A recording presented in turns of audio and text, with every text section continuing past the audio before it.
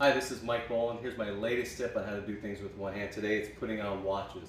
And this one has a pretty interesting clip on it. I'm obviously going to put it on this hand because if I put it on this hand, I'll lose it. So here's how you do it. What I do is I take the band and I flip it around. And I make sure that the band is in by using my stump. I kind of push it in as much as I can, like that.